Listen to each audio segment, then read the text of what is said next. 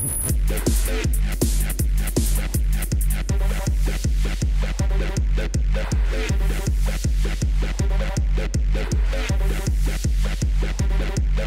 vida tem os seus altos e baixos, chamam-se agachamento. Nos dias bons, treina.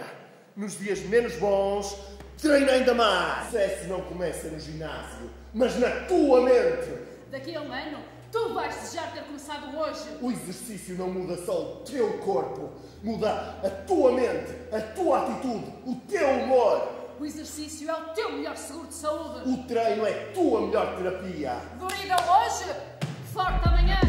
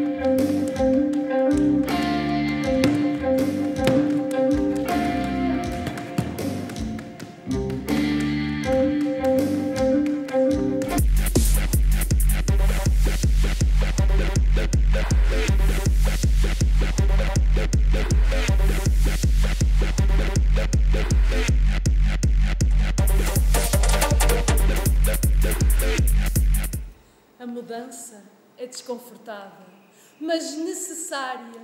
Eu perdi-me a ver pôs do sol só para descobrir que eu sou o sol. Tu não tens de ser o sol para as pessoas que não apreciam a tua luz. Morre com memórias, não com sonhos. Às vezes não é ego, é amor próprio.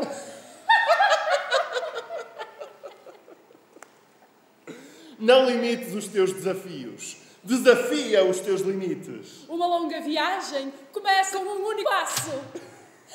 Quando se fecha uma porta, abre-se uma janela. Não precisas de ser perfeito, só precisas de começar. Procura o progresso em vez da perfeição. Quem quer colher rosas deve suportar os espinhos.